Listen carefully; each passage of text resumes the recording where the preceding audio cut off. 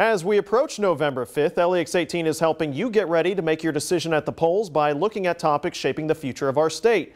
On this Sunday, State of the Commonwealth, we examined diversity and immigration. I was joined by a panel who discussed relations between communities in Lexington and also how the city has evolved when it comes to diversity and where it's going. We also looked at immigration, an issue that Governor Bevin brings up often in campaign ads and speeches, echoing policies and stances of President Donald Trump, while his opponent in the governor's race, Andy Beshear, tries to stick to Kentucky issues. This race isn't about the White House, it's about what's going on in your house. One of the two of us will be the next governor. And we're either going to work with the president that we have in the White House or we won't. State of the Commonwealth airs on Sunday morning at 9:30 on LEX 18 followed by Meet the Press.